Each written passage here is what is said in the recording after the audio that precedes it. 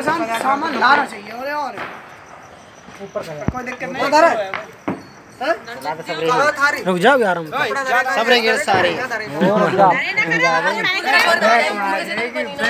दूर से बना यार थोड़ी सी एक एक